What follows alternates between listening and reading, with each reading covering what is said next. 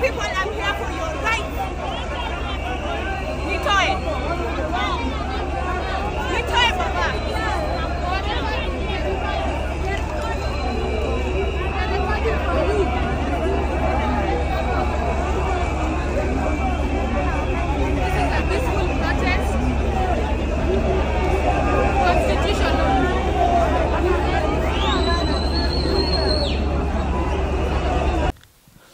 twongeye kuguha ikaze wo kuri Skype Post TV muri aka kanya kandi twizera yuko ukomeje kumera neza. Tunizera kandi tudashidikanya ko amakuru Skype Post TV bayakugejejeho aba yakunyuze kandi akagira byinshi agufasha mu kumenya amakuru agezweho hirya no hino haba mu gihugu cy'u Rwanda ndetse no mu karere k'ibiyaga bigari tutibagiwe n'abandi bari mu bindi bice bitandukanye ku migabane itandukanye eh, y'iyi si dutuyeho.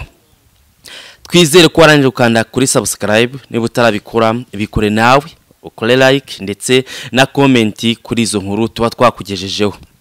Inkuru z'uyu munsi tugiye kwibanda cyane cyane mu gihugu cya kenya aho ibintu bitameze neza abigaragambya bakomeje kwigaragambya dore ko byanatangajwe yuko hari ah, ababuriyemo ubuzima ni byo turababwira mu nkuru tugiye kukugezaho. Indi nkuru ni iy'umusirikare mu gihugu cya kenya. Uyu musirikare ibyamubayeho cyangwa se ibyo yakoze ni agahomamunwa dore ko yagiye agasanga umugore we arimo kumuca inyuma. Umugabo basambanaga akaba ari umupadiri ariko uyu mupadiri ibyamubayeho byarangiye bibaye bibi. Dore ko uyu musirikare yahise amwica urw'agashinyaguro amukata ubugabo arangije n'ubundi ahita anamuhorahoza mukunzi wa Post TV izi nkuru nizo tugiye kuganiraho uh, twavuze haruguru niba utarakana kuri subscribe bikore kugira ngo ubane natwe gatanu kuri gatanu. Iyi nkuru iragira iti umusirikare ubarizwa mu ngabo za Kenya Kenya Defense Force yishe umupadiri abanje kumuca igitsina. Nyuma y'aho amusanze ariho amusambanyiriza umugore ku gitanda cye aryamaho. Urumva yajya ajya ku gitanda cy'abandi rwose akora ibyo yagombaga gukora. N'ubwo bwose bitamuguye amahoro ni byo turakubwira muri iyi nkuru. Amakuru avuga ko uwo musirikare yari yahawe amakuru n'abaturage y'uko hari umupadiri ukora ibirometero mirongo itatu nijoro aje kumusambanyiriza umugore. Abapadiri b'iki gihe nabo bararakaye gukora ibirometero mirongo itatu nijoro ukajya kwihakabyiza ku mugore utari uwawe dore ko padiri nta n'umugore agira. By'umwihariko ukajya kuryama ku buriri bw'abandi kujya gusambanyiriza umugore ku buriri bw'undi mugabo ni agahomamunwa uyu musirikare yigira inama maze aza kuza nijoro umugore we atabizi. Bitewe n'uko umugore yabaga azi ko n'ubundi yagiye mu kazi k'ijoro ah, kazwi nyine nk'uburinzi. Kwa kundi abasirikare bajya kuri pature nijoro umugore we yari azi ko n'ubundi ari mu kazi k'ijoro.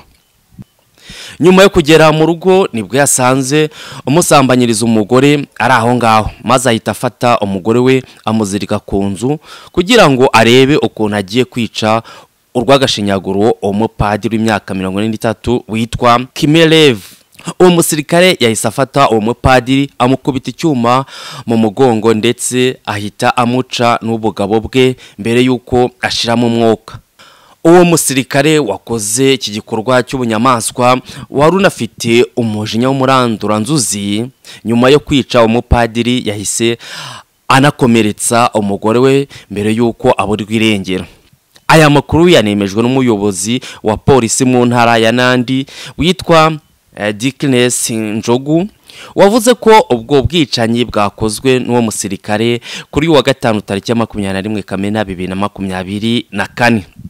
Uyu muyobozi wa polisi yavuze ko uwo musirikare yahise aburirwa irengero ndetse n'umugore we yaje kuburirwa irengero dore ko nawe yari yakomerekejwe. Ariko bose baburiwe irengero. Yaba ari umugabo wishe uwo mupadiri wasambanaga n'uwo mugore we yatorotse aburirwa irengero. Ndetse n'uyu mugore amaze kubona ibintu bikorewe uyu mupadiri basambaniraga ku buriri bw'undi mugabo nawe yahise atoroka aburirwa irengero nk'uko byemejwe n'uyu muyobozi wa polisi mu ntara ya nandi.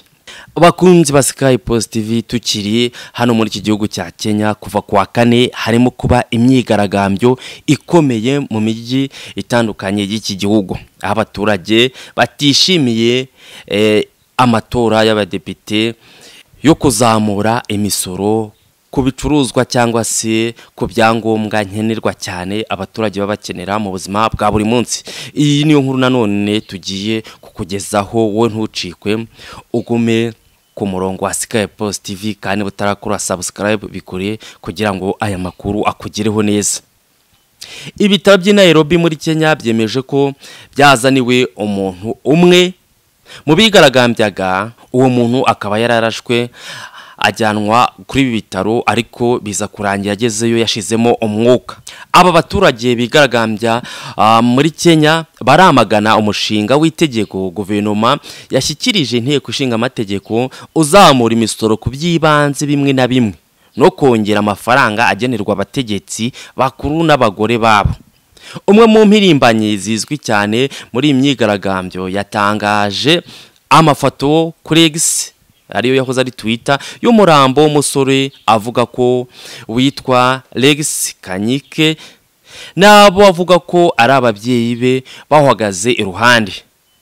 Ikinyamakuru cyo muri Kenya gisubiramo umuganga ku bitaro byakiriye uwo wiciwe mu myigaragambyo avuga ko yarashwe mu nyonga y'itako aha akaba yagize ati yavuye amaraso kugeza apfuye mbere y'uko agezwa kwa muganga. Uyu ni umuntu wa mbere utangajwe ko yapfuye mu myigaragambyo. Yiganjemo abantu bo mu cyiciro cy'imyaka cumi n'umunani na makumyabiri ni ukuvuga abavutse hagati y'igihumbi kimwe magana cyenda na mirongo icyenda ndetse n'ibihumbi bibiri na cumi. Urupfu rw'uyu muturage wapfuye arimo kwigaragambya byongera ubukana cyangwa se uburakari kuri bagenzi be n'ubundi bigaragambya. Croix Rouge ya Kenya yatangaje ko mu myigaragambyo yo kuwa kane abantu mirongo itatu n'icyenda bakomeretse umunani bakomeretse bikomeye tatu n'umwe bakaba barakomeretse byoroheje. Amnesty International yatangaje ko abantu babarirwa mu magana mu bigaragambyaga bamaze gufungwa. Kandi inanenga igipolisi cya Kenya mu gukoresha imbaraga z'umurengera mu guhangana n'abigaragambya. Mu gihe imyigaragambyo yacaga ibintu kwa kane mu mijyi mikuru ya Kenya nka Nairobi Nakuru Kisumu Mombasa n'ahandi abadepite bo baba bari mu matora mu nteko ishinga amategeko kuri uwo mushinga wa guverinoma ya perezida William Ruto. Ku badepite magana atatu mirongo itatu na batatu bagombaga gutora abagera kuri magana abiri na bane batoye yego bemeza uwo mushinga. Naho ijana na cumi na batanu batora oya bawanga nk'uko byifuzwa n'abigaragambya. Abagera kuri cumi na batanu ntibari bahari igihe cy'itora nk'uko bigaragazwa n'ikigo cy'itangazamakuru cya leta ya Kenya. Iri tora risobanuye ko uyu mushinga wemejwe n'abadepite kuko abenshi nibo batoye yego. Uzahita ujya muri komite yiga ibigomba guhinduka mu misoro yari yazamuwe maze ugarurwe imbere y'abadepite mu cyumweru gitaha. Uwo mushinga ugomba guca mu bindi byiciro bibiri mu nteko ishinga amategeko mbere y'uko wemezwa na perezida wa kenya ukaba itegeko abigaragambya bavuga ko uwo mushinga nuhinduka itegeko uzazahaza abaturage kuko uzatera kuzamuka kurushaho kw'ibiciro by'ibintu nkenerwa. Bisanzwe byarazamutse n'ubundi. Leta ivuga ko ishaka gukusanya imisoro irenga miliyari esheshatu z'amadolari y'amerika kugira ngo ibashe gukora ibikorwa byayo bisanzwe no kwishyura imyenda igihugu gifite.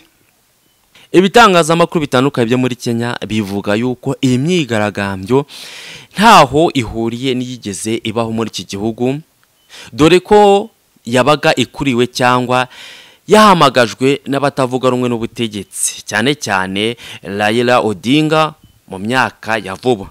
Ariko iyi yo ihamagazwa n'urubyiruko ubwarwo rukoresheje imbuga nkoranyambaga ngo ruze rwamagane ko leta iruzamuriraho imisoro kuko bigira ingaruka ku mibereho yabo nk'uko babivuga. Jane Mureyiti umwe mu bigaragambya ku wa kane yabwiye BBC ati ruto yaje avuga ko azanye leta ifasha abihiringa ngo babeho. Ahangaha yavugaga abahasara.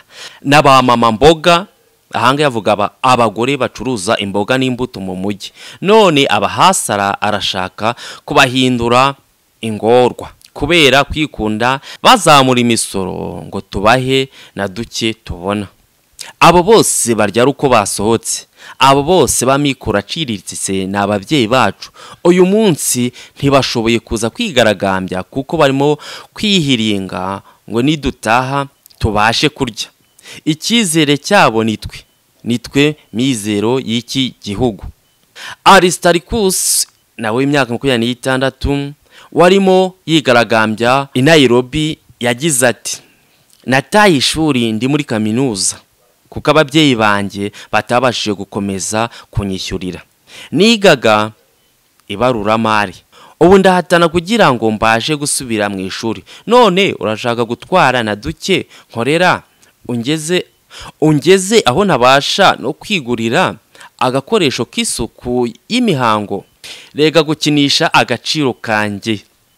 Ikigaragara cyo ni uko aba baturage bahariye amavubi badashaka iri zamurwa ry'imisoro n'ubwo bwose abadepite bigaragara yuko batoye yego kugira ngo uyu mushinga wa leta ushyirwe mu bikorwa. Ese iyi leta ya william ruto irakemura iki kibazo gute? Cyangwa cyaba kirayigwa amahoro? Reka tutegereze ibiri imbere kuko wasanga iki cyemezo cyagiye gufatwa hari impamvu nk'uko babivuze ko leta ifite imyenda igomba kwishyura ndetse hari n'ibindi igomba gukora kandi bigomba gukorwa biciye muri iyi misoro izaba yabonetse n'ubwo abaturage batabyifuza. Mukunzi wa sikayi post tv dukomeje kugushimira uruhare ugira mu kutwereka yuko uri kumwe natwe gatanu kuri gatanu. Amakuru yacu